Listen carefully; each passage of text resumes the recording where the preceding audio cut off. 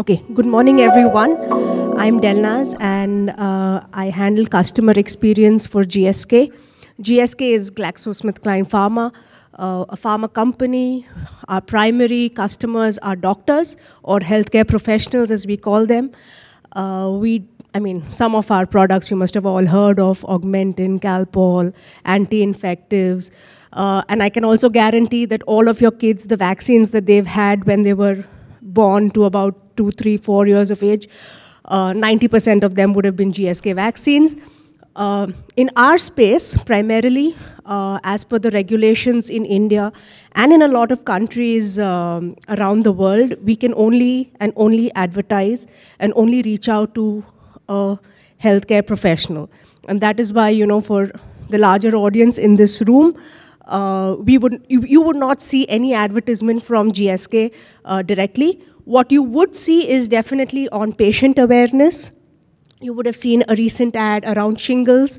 Uh, you would have seen recent ads around vaccinating of your kids. Uh, but what we do is really in the space of the healthcare professional. Now, what really does customer experience mean to a healthcare professional? Right? Now think of it from a doctor's lens. He's, he is there, he's seeing his patients day in and day out. And the traditional method of um, a company communicating with the HCP is that you have an MR, right? You have a medical representative who goes to the HCP, who informs him about the product, speaks about its features, benefits, how it can be used, and details the product when he goes physically in front of the HCP and does that. At a lot of doctors' places, you must have also seen this really long lines outside of medical representatives standing. Um, in my opinion, it's a waste of time, both for the doctor and for the medical representative, especially when your product is more than 30, 40, 50 years of age. When the molecule is that old, what new are you going to tell the doctor? Classic case like crocin. I mean, what are you going to tell the doctor, right? I mean, he knows about it. He knows probably more about it than you do. But you need to constantly remind him that yes, there is a paracetamol by the name of crocin, which is going to you know, help you in these, these conditions. And that is where customer experience comes in.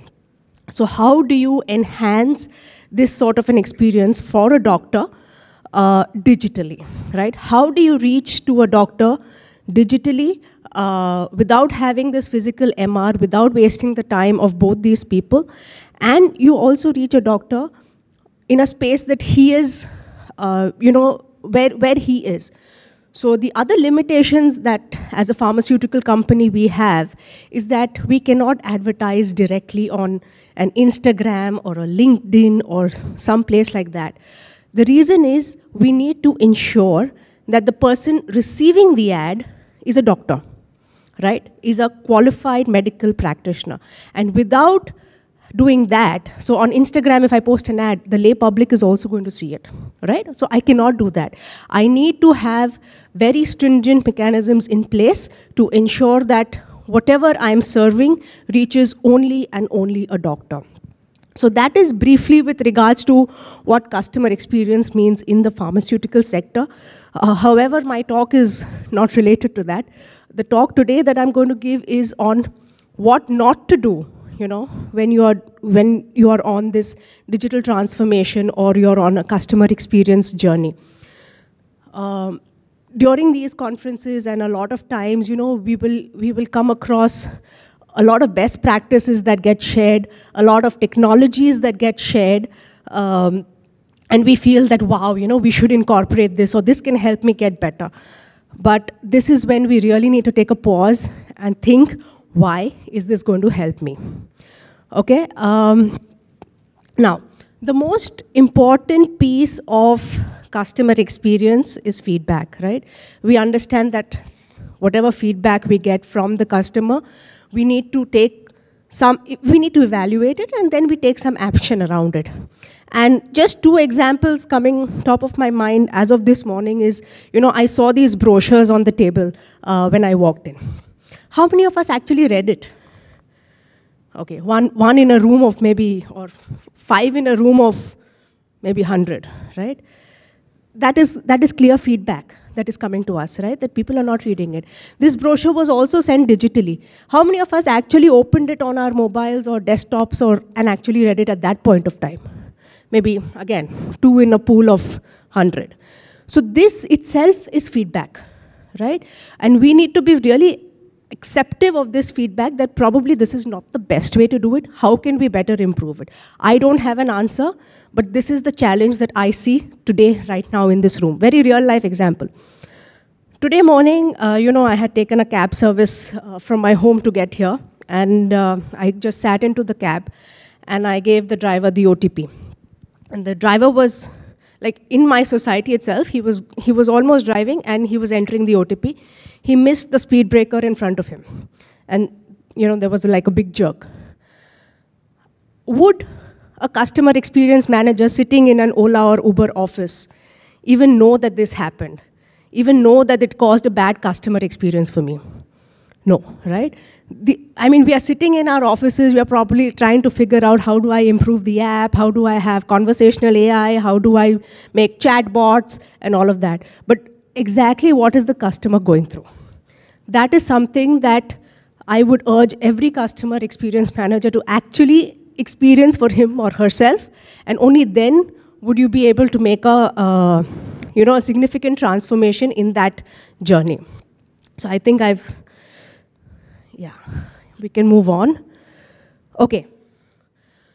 So I'm going to I mean, the way I do presentations is more storytelling because I think that is the best way to get the message across.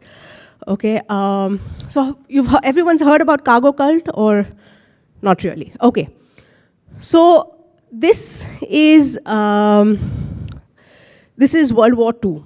Okay, and this is a real story. This is a real life story.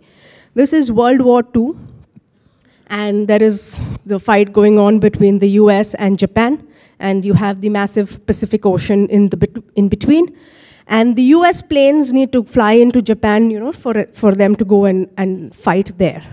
However, at that time, technology was not so great that a single flight could fly right across the Pacific. You needed a halt in between. The, the flights could not be for so long. So what the US did is they identified certain islands in the Pacific Ocean, which were used as, you know, temporary warehouses. And so the flights from the US used to carry all the food and milk and all the other goods, come to this island, take a halt, and then proceed on the journey.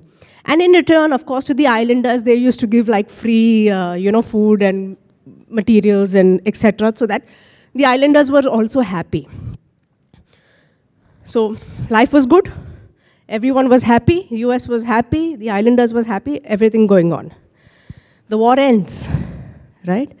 The World War II ended. And what happened then was the plane stopped flying. And the islanders had no clue as to why this happened, right? Why did the plane stop flying? Yeah. So you can see some of the images here. These are real images. And they were just, you know, praying up to the gods that, oh, this flying bird which was in the air, let us just pray and let the, let the food and the uh, milk and all of that come. They even built like a, a temporary aeroplane which was made out of, I don't know, hay and sticks, etc. And just hoping and hoping and hoping that help would come their way. Did help come their way? Obviously not, right? So this is the key thing, uh, you know, when it comes to designing a customer experience journey as well. Okay. So, what is the lesson that we take away from this, right? What is it that we must not, oh, what is this? Okay. What is it that we must not do? Uh, yeah, this is something that we must not do. okay. But in essence, it is um, do not force fit any solution into your situation. You need to understand why before the how. Okay? So understand why is this a challenge? Understand why is my customer saying this? Why is this particular thing happening the way it is? Before you really move to the how. That is the key takeaway, right?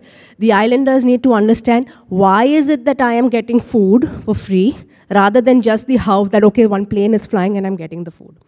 Okay? So that, if I were to leave everyone with one message, it is understand the why of what you want to do, right?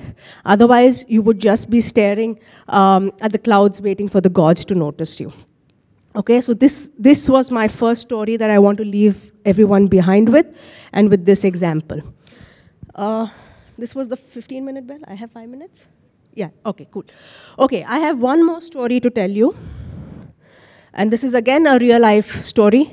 This is uh, about the janitor who helped um, put a man on the moon, right?